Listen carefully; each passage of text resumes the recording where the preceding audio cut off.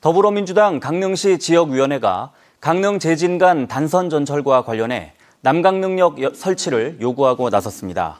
민주당 강릉시 지역위는 유라시아로 연결되는 물류철도 기능을 고려해 화물기지 클러스터를 강릉에 유치해야 하며 건설 비용도 강릉역을 지하로 뚫을 때보다 20% 이하로도 건설이 가능하다며 남강릉역 건설을 촉구하고 나섰습니다. 또 민주당 도당과 중앙당, 국토교통부에 남강능력 건설을 위한 시민들의 의견을 강력히 전달하고 관철하도록 노력하겠다고 밝혔습니다. 한편 국토교통부는 지난 24일 전략환경영향평가 주민설명회에서 모두 강릉역을 통과하는 세 가지 안을 제시해 주민들이 강하게 반발한 바 있습니다.